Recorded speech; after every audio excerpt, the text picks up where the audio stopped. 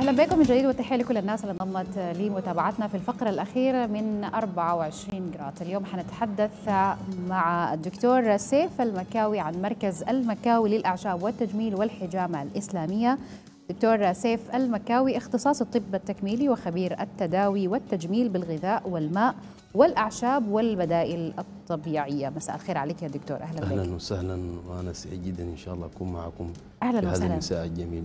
الله يخليك. خليني أبدأ من من التخصص. خبير الطب التكميلي وخبير التداوي والتجميل بالغذاء والماء والأعشاب والبدائل الطبيعية. لياتو درج الماء مهم جدا في أي عملية يعني علاجية. دائما لما نبدأ إحنا لأنه في جزء من المحاور عندنا موضوع التسمين والتخسيس. صحيح. الشخص لما يقرر يسمن أو يقرر إنه يخسر وزن الموية عنصر أساسي جدا. وممكن نتكلم في الحتة دي باستفاضة قبل ما نخش المحاور. طيب آه، بسم الله والحمد لله والصلاة والسلام على رسول الله صلى الله عليه وسلم. في البداية السؤال جميل وسؤال هادف لكن خليني آه، آه، يعني أعرف العزيز المشاهد ما هو الطب البديل أو الطب التكميلي؟ تمام. أو لماذا الطب البديل؟ في الآونة الأخيرة الآن نجد العالم كله توجه للطب البديل.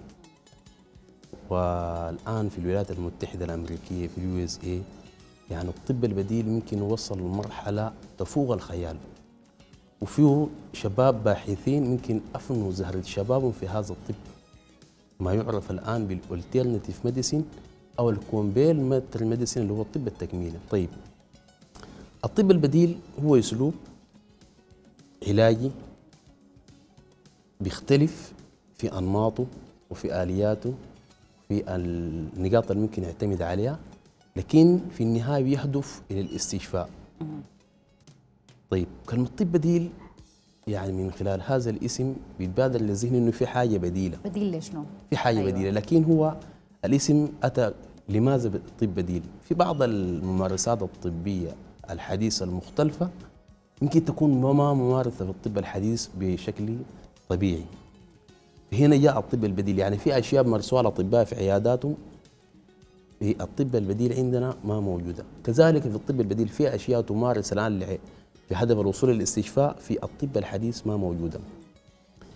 فبيبقى من هذا التعريف إنه العملية تكامليه بين الاثنين يعني ليست هي حلال الطب الحديث حديث. أو إلغاء وإنما العملية تكامليه شموليه الهدف منها الوصول للاستشفاء وتقديم خدمة متميزة لهذا الإنسان ممكن يكون بأقل التكاليف وبأشياء تكون عندها المأمونية. تمام. طيب الطب البديل من خلال الجزئية اللي ذكرتيها أنت عنده أنماط مختلفة يعني جزء من الانماط اللي بيعتمد عليها الغذاء والماء كذلك ال- الأعشاب. اللي الأعشاب دي يمكن بتشكل 80% من هذا الشق من أو النوع من الطب البديل. فالماء مفيد جدا في حياتنا وده جزء إحنا الآن بنستخدمه في عملية الاستشفاء. وعندنا ماء زمزم اللي هو ماء حيوي ومغنط في نفس الوقت فيه طاقة عالية جدا. فيبقى كل ما كان الماء في استخدامك له كفاءته عالية وأنت بتضيف له طاقات كل ما شكل يعني عملية دفاعية ووغائية في نفس الوقت بتدخل معنا في كل العمليات التجميلية سواء كان في العملية العلاجية العملية التجميلية العملية الغذائية. وربنا سبحانه وتعالى قال جعلنا من الماء كل شيء حي. لكن بعد الاختلاف في أي جهة أو أي مؤسسة كيف بتعالج بالماء؟ فنحن الأشياء دي دائما لما الناس يجون لها فرض الواقع بتكون يعني بشكل واضح أفضل من تكون شفاهة. فنتمنى الآن ناس يا إخواننا مركز المكاوي موجود عندنا كم قسم يمكن بنتعامل معاها من ضمن قسم الاستشفاء بالماء بندي نصائح معينة وكيفية معينة لاستخدام الماء. عندنا قسم التداوي بالأعشاب عندنا قسم الحجامه الإسلامية للناس الإنجاب والسكري. كذلك عندنا قسم الأعشاب وعندنا قسم العلاج الانعكاسي. يمكن يكون دي ملامح بسيط من ملامح الطب البديل الممارسة أو موجودة عندنا الآن. ونحن بفضل الله سبحانه وتعالى بالذات مؤسسة المكاوي اهتمت بهذا النوع من الطب ووضعت بصمة فممكن يكون يعني إحنا ما عايزين نبالغ إنه أي حاجة وجدنا لها حلول لكن قطعنا مسافة كبيرة جدا جميل. في هذا النوع طيب دي بصورة عامة آه، مركز نعم. المكاوي والنشاط اللي هو شغال فيها طيب خليني آه يعني كسيدة ممكن يكونوا كل السيدات مهتمات بال- بالجمال والتجميل وحتى الرجال يعني هو عالم الجمال ما محصور فقط على السيدات صحيح. كلمني عن مركز التجميل أو قسم التجميل عندكم في مركز المكاوي طيب التجميل لما نيجي نتكلم عن التجميل آه لابد نعرف ما هو الجمال. هو الأشياء التي تتعلق بالعملية التجميلية نفسها. مم. والجمال ينقسم إلى قسمين هنالك جمال الأبدان وجمال جمال الأرواح. والعملية التجميلية هي باب واسع جدا. يعني أنا ما عارف أبدأ لك من وين لكن إذا مسكنا من فوق مثلا بدينا بالشعر بالذات عند السيدات. طبعا أكيد أي وحدة عايزة شعر بشكل معين بلون معين يكون طويل يكون فيه نعومة فيه حيوية خالي من كل المشاكل اللي ممكن تصيبه زي الحكة والقشرة والآكول والالتهابات والحزاز والجفاف والتجعد ونحن نقول دائما يا إخواننا في المقام الأول الشعر هو اهتمام. يعني الإنسان إذا اهتم بنفسه بالذات في عملية التجميل بيتجاوز كثير من المشاكل اللي ممكن تصيبه. فبالذات في المسألة المتعلقة بمشاكل الشعر كلها. نحن الحمد لله تعالى في مركز المكاوي. يمكن يكون وضعنا لها حلول جميلة جدا وبتبدأ هذه الحلول من النصائح والإرشادات والتغذية والوصفات. في ناس بنديهم نصائح اخواننا اعملوا كده وتجنبوا كده. لأنه في ناس ما عارفين مشكلتهم أساسا بتكمن في شنو. في ناس بنحتاج نحن نحولهم لجهازة الإختصاص. يعني في ناس عندهم مشاكل صحية بينتج منها تساقط في الشعر. زي المشاكل بتاعت الأجهزة الإخراجية مشاكل متعلقة بالكلى ومشاكل متعلقة بالكبد فالمسألة عميقة جدا. يعني ما أي شخص ممكن يحل لك مشكلتك. فأنا بشوف أي واحدة الآن يا أخواننا عندها مشكلة بتاعت تساقط تقصف جفاف مشاكل الجلدية زي الثعلبة زي القوب. نحن الآن عندنا مجموعة كاملة وعندنا زيت جميل جدا. هذا الزيت وضع علينا بصمة في الحلول اسمه ملك الزيوت. ملك الزيوت ده بيشتغل معنا في التطويل. يعني الوحدة اللي بتستعمل كم منتج شعر بتاعها ما قاعد طول لما تستعمل ملك الزيوت ده بيساعد في تفاعل البصيلة فبالتالي بيساعد في تطويلها وفي نموها وتغذيتها. أيضا عندنا زيت آه اللي هو اسمه ال A 1 ال A 1 ده بيشتغل بالنسبة للشابات اللي بيعانوا من التساقط والتقصف. طبعاً في فرق شاسع جدا بين التقصف وبين التساقط لكن بفضل الله تعالى هذا الزيت حل المشكلتين ديل مع بعض. عندنا حلول ثانية أيضا بالنسبة للناس اللي بيعانوا من يعني جفاف الشعر بالذات نحن في السودان. الشتاء صحيح في موسم الشتاء. وغيره. وده رجينا لحديثنا القبيل عن حديثنا عن الموية. يعني الإنسان في هذا الفصل بالذات لابد يتناول كمية من الموية.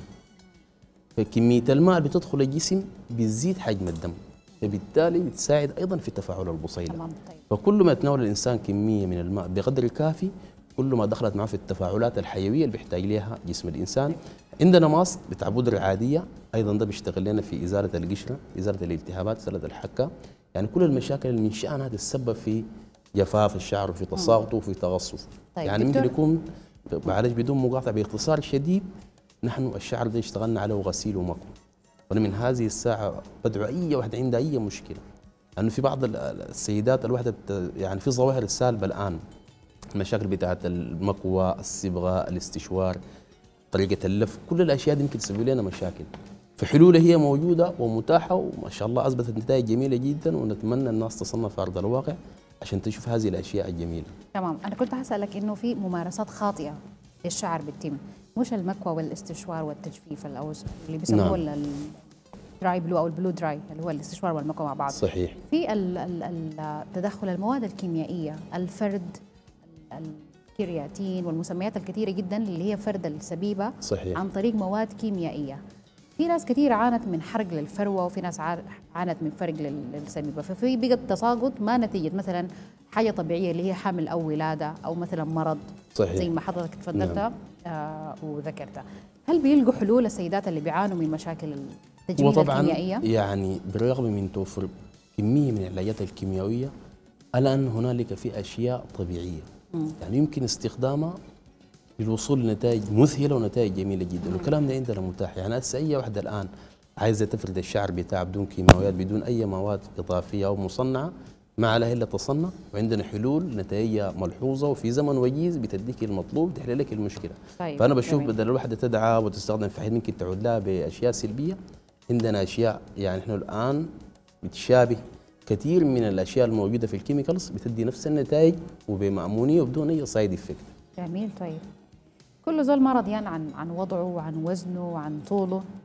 ففي الناس اللي حاسة إنها هي وزنها زايد تقول لك إحنا محتاجين نضعف أو نخس. وفي الناس اللي حاسة إنه بتعاني من النحافة فمحتاجة تزيد وزنها. حاليا دي أصبحت مشكلة كبيرة جدا. حتى في الناس اللي جسمهم ما بيستجيب يعني للرجيم أو الحميات وفي الناس اللي ما بيستجيب جسمهم حتى ل يعني مهما أكلوا من حاجة فيها سعرات حرارية بتلاقيه ما عايز يزيد.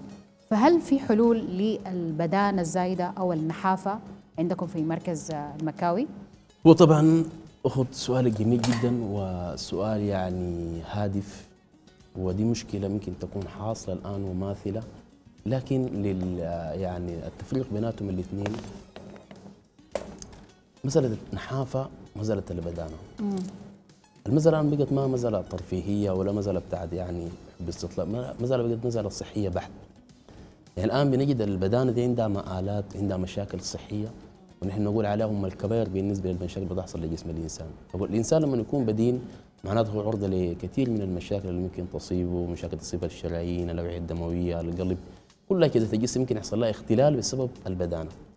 فالإنسان بيعرف نفسه بدين كيف؟ عشان أنت تكون في الصيف سايد، نحن الآن في مركز المكاوي عندنا حاجة اسمها دليل معدل كتلة الجسم. فلما يجينا الشخص بنقوم نوزنه نشوف وزنه وبنشوف طوله. بعد ذاك على ضوء بنحدد كمية الوزن الزايد. هل وزن زايد زيادة عادية زيادة وزن زيادة مفرطة في الوزن؟ بعد ذاك بتأتي الحلول. فبفضل الله سبحانه وتعالى الآن مركز المكاوي اكتشف أو وجد منتجات هذه المنتجات من شأنها تزيل البدانة. ولما نقول البدانة بالذات لما نتكلم عن البدانة الموضعية بنجد الآن مساله البطون. يعني تلقى الآن الناس بتعاني من الكرش والناس ما عارفة الأشياء اللي ممكن تزيد حجم البطن. فنحن في مؤسستنا في مركز المكاوي الإنسان لما يجينا بدين أو عنده بطن زيادة أو دهون حول الأكتاف أو دهون متكدسة بالأطراف فبنقوم ندي نصائح وإرشادات. عندنا مطبوعة المطبوعه ده أي إنسان بيشيل بيمشي البيت بيقعد بمزاج بيطلع عليها بتوضح له أي حاجة من شأنها تزيد الوزن أو تخفض الوزن. يعني الأشياء اللي بيزيد لك حجم البطن بتلقاها موجودة. وده من هنا بكون لك ال life style. يعني أنت لو مشيت على النمط ده هتلقى نفسك في اتجاه المعالجة. طيب بعض النصائح والإرشادات لأنه الخواجات بيقولوا أدوية إنغاص الوزن وحدها لا تكفي. ما لم يكن هنالك برنامج متبع. نحن الآن ما بننصح يعني ما المعالجة عندنا ما متعبة. يعني في ناس الآن واحد يقول لك امشي اعمل كده وما تاكل ذاك وما تعمل. فبيعقدوا المسألة. نحن عندنا منتجات ودي بنراهن عليها النزول حيخس بدون ما يحس. طيب المنتجات دي زي شنو؟ عندنا مجموعة تحتوي على ألياف. ألياف نباتية. الألياف النباتية دي الإنسان إذا في استخدامها استخدمها دائما قبل الوجبة بتلت ساعة ودي بتضبط لنا الشهية يعني تاني السفسفة ما في الناس الواحد تلقيهم اللي صحن بتعبوش لو ما مر البطن دي تمام الشهية المفرطة دي. وأسلم قاعدة صحية الناس تتبعها هي اتباع سنة النبي عليه الصلاة والسلام. أنه النبي يعني في الحديث نحن قوم لا نأكل حتى نجوع. وإذا أكلنا لا نشبع فأي إنسان بيشبع في الطعام بتحصل له إشكالية بتاعت حجم البطن. اثنين الناس اللي بتناولوا كمية الماء البارد بعد الوجبة طوالي. ده بيزيد حجم البطن. أيضا الناس اللي بينوموا على البطن واحد بينوم على بطنه ودي قاعدة سيئة جدا الإنسان إذا اتبعها في حياته بيسبب له في مشكلة في زيادة البطن خلاف المشاكل الصحية والسنة أيضا نهت عن الكلام ده. طيب المجموعة بتاعت الألياف دي لما تضبط الشهية هي ذاتها فيها مكملات غذائية وفوق فيتامينات زي فيتامين A فيها فيتامين ها وفيها فيتامين B 6 دي مكونات غذائية محتاج لها الجسم عشان إحنا ما نفقدك النقص الغذائي. دي بعد ده عندها شغل داخل البطن. ال mechanism بتاعها داخل البطن هي بتقطع الدهون ذات السلسلة الطويلة إلى وحدات صغيرة جدا يسهل إخراجها من الجسم. وفي نفس الوقت السكريات ذات السلسلة الطويلة أيضا بتقطعها والبروتينات كذلك. بعديها في منتج الانسان بيستعمله بعد الوجبة وده شكل شواهي شواهي عشبيه كثير من الناس الآن بيستخدموا الأعشاب الموجودة في النت الموجودة في الكتب اللي بتلقاها يعني الإنسان بيطلع عليها من خلال بحثه في اليوتيوب. يقول لك ما ادتني نتيجة وده بيعود لسوء الاستخدام للعشبه لأنه أي عشبه عندها مكونات علم. هذه المكونات اذا الإنسان استخدمها بطريقة ما صحيحة ما بتدي نتيجة. وعندها زمن للاستخدام. وعندها زمن. نحن منتجاتنا دي زول بيستخدمها بعد الوجبه والمنتجات دي نحن بنراعي فوق النتيجة التجارب الخواص الكيميائية والفيزيائية وجودة العشبه نفسها. هي بتستخدم بعد الوجبة بتمنع تكون الدهون في الدم. يتعمل لها إذابة اثنين ده بيشتغل من الداخل. في ناس عندهم حجم البطن أساسا هو ذاته حجم واسع أو كبير جدا. فديل عملنا لهم دهان موضعي. هذا الدهان بيتم مسحه على البطن على الجلد صباح ومساء مع التدليك الخفيف يدلك المناطق اللي حولها الدهون دي كلها. فده بيشد الجلد وبيذيب الدهون. يعني أنا خايف الناس دائما الآن مستعجلين للنتيجة. واللي يا أخي المسألة دي بتحصل 200 فالتخصيص المفاجئ نحن ما بننصح به لأنه من سلبياته إنه بيكهل ويحصل لنا ترهلات داخل الجسم. فلازم التخصيص يكون متدرج. هذا التدرج في التخصيص هو اللي بيدي نتيجة دائمه ومفيدة في نفس الوقت. فهذه المجموعة هي الآن موجودة ومتاحة وأي زول ممكن يجي يطلبها ويتابعنا بالميزان. نحن يعني نوزنك ونقول لك استعمل المنتج مع النصائح والإرشادات والتغذية والوصفات والمنتجات. الإنسان إن شاء الله بيصل لمبتغاه. ده فيما يخص النحافة. يعني زول عايز يخس. بالمقابل في ناس عايزين يسمنوا. نعم. بالذات الشابات والفتيات والإرسان في نفس اللحظة. في ناس الآن يعني في مجتمعنا السوداني الزول إذا بقى بدين ممكن يكون له حاجز بسيط لكن إذا بقى نحيف بتكون له مشكلة. لأنه بعض الناس قد يتساءلوا إنه الناس دي عندهم مشاكل وراثية ما لهم نحاف بالشكل ده. فأخواتنا الآن اللي بيشتغلن في البيت بيشتغلن في غسيل المطبخ يبني لنا حاجة اسمها التسمين الموضعي لأنه بيستخدموا المياه الدافئة والصوابين واللي تسبب في جفاف الدهون حول الأيادي. يعني في بنات الآن عايزات تسمين للسواعد تسمين للساقين تسمين للوش. أي منطقة في جسم الإنسان ممكن تسمينها تسمين موضعي. فنحن عندنا منتج عبارة عن استخلاص عشبي هو زيت يتم مسحه على الجلد. من خلال مسحنا على الجلد بيحصل تغذية للخلايا. لما تحصل تغذية للخلايا دي بيحصل لها تكاثر ونمو وبتزيد وبتتنفخ. يعني عندنا منتج لتسمين الوش. وإذا ما شاء الله بيزيد بطريقة متزنة وجميلة جدا وملحوظة. كذلك اليد وكذلك السواعد. أيضا عندنا التسمين العام. ونحن ما بننصح إنه الزول إذا بقى وزنه طبيعي مع طول متناسق ما يسمن سمون عام. بالذات البنات بالذات الشابات. يعني هسه أي واحدة عايزة تسمن تسمين طبيعي بمنتجات طبيعية ومنتجات آمنة. حتى الحوامل بالنسبة لهم في أمان ما عليه إلا تصنع. موقعنا الآن في الخرطوم في الإستاد. أي زوج الخرطوم سالم من الإستاد بيلقى المكاوي للأعشاب والتجميل ونتمنى يا إخوان التلفونات موجودة اللي هو 09 166 66 88 5 تلفون ثاني للتوضيح 09 222 3 أصفار 37 فبفضل الله تعالى المنتجات الآن موجودة ومتاحة ونتمنى الناس تصنع عشان تشوف الأشياء دي على أرض الواقع وإنه الطب البديل يشكل الآن ثورة، هذه الثورة غادمة لا محالة ونتائجها بالفعل زي ما بقولوا. إن شاء الله. نعم. أخيرا إحنا خلاص يعني زمننا على وشك لكن في فصل الصيف بتظهر لنا مشاكل البشرة. يعني الجفاف الناس اللي بتعاني من الأكزيما أو من الحساسية بيكون عندهم جفاف في البشرة طبعا بطبيعة إنه الشتاء عندنا ناشف شديد في السودان. فهل بيلقوا عندكم آه تراكيب خاصة بالترطيب الزايد عشان يحمي بشرتهم فصل الشتاء؟ وطبعا زي ما قلت لك نحن الحمد لله تعالى يعني في السودان بالذات عندنا منتجات كمية وطبيعية وهي عشبية. بتشابه لنا الكورتيزون في خواصه التجميليه لكن ما عنده side effect فالمشاكل بتاعت البشره هي ممكن تكون مشاكل كمية وهائله لكن أنا أختصر لك الكلام ده كله في الوش. في ناس بيفتكروا الآن الوجه ده يا إخواننا أي زول بس يقول له حاجة يلصق عليه ولا يغنع بها الوجه بتديه نتيجة. بالعكس يا جماعة الوجه ده فسيولوجيا يتأثر بكل الأشياء اللي بتحصل للجسم سلبا أو ايجابا. ففي ناس الآن بسبب الشتاء وبسبب الجفاف اللي بيحصل للبشره عموما بيعانوا من مشاكل بتاعت حب الشباب. بالشباب عندنا له الآن حلول متاحة بكل أنواع سواء كان ندب تحتية فوقية رؤوس سوداء بيضاء الدهون اللي بتحصل دي ومع ذلك بندي النصائح والارشادات في حاجة أيضا بتخص أكثر الاصابه بها النساء بالذات النمش. والكلف. والكلف. النمش ممكن يكون بقع بنيه أو حمراء بتجي نتيجة التعرض للشمس أو استخدام بعض المساحيق. وفي ناس بينوموا بالمكياج ده بيحصل لهم النمش. أيضا الكلف. دي كلها أشياء مركز المكاوي يد لها حلول طبيعية وحلول آمنة وبلا عودة. لكن المشكلة اللي بتكون يعني مؤرقه كثير من الفتيات مساله الهالات السوداء. والهالات السوداء دي يا إخواننا في حياتنا العصرية الآن بنجد الناس بي بي بيسهروا جدا في الواتساب في الفيس. التركيز على الأجهزة الإلكترونية دي أكبر سبب لأنه يكون في هالات سوداء.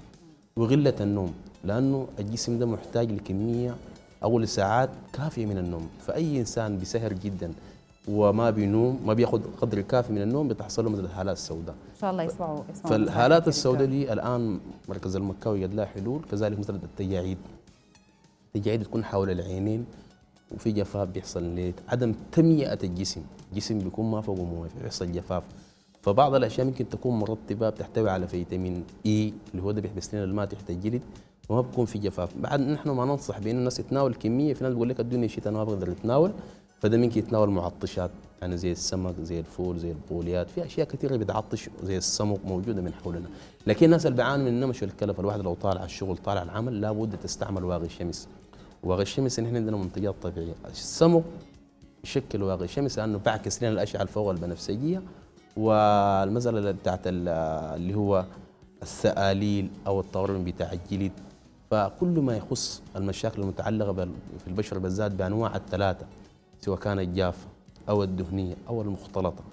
واصعب مشكلة علاجها في المختلطة دي لأنه كثير من الناس ما بيعرف يتعامل معها. فنحن الآن عندنا صوابين عجبيه عندنا كريمات موضعية وحياتنا كلها آمنة ومن الأعشاب وبفضل الله تعالى أغلب الناس اللي تواصلوا معنا ما كان منهم إلا والشكر. وذلك الفضل من الله. سبحانه وتعالى. الحمد لله. بالتوفيق نعم. لكم إن شاء الله دكتور. شكرا لجيتك. سريعا أنا حذكر المشاهدين مركز المكاوي للأعشاب والتجويل والحجام الإسلامية موجود في الخرطوم السوق العربي استاد الخرطوم والأرقام أسفل الشاشة 09 3 اثنينات 3 أصفار 37 09 1 ستة ستة ستة ستة ثمانية ثمانية خمسة. دكتور سيف المكاوي اختصاص الطب التكميلي وخبير التداوي والتجميل بالغذاء والماء والأعشاب والبدائل الطبيعية. شكرا لجيتك وبالتوفيق لك صاحب مركز المكاوي. شكرا أنا أيضا شاكر لكم وأسأل الله سبحانه وتعالى أن أكون أصبت في هذه الجزئية البسيطة ونوعد المشاهد بالعديد من المفاجآت وبالعديد من المنتجات وبالعديد من الوصفات الممكن نقدمها على الهواء. شاء الله. وإن شاء الله هم موعودين بالجديد وبالمفيد بإذن الله إن شاء الله. شكرا جزيلا.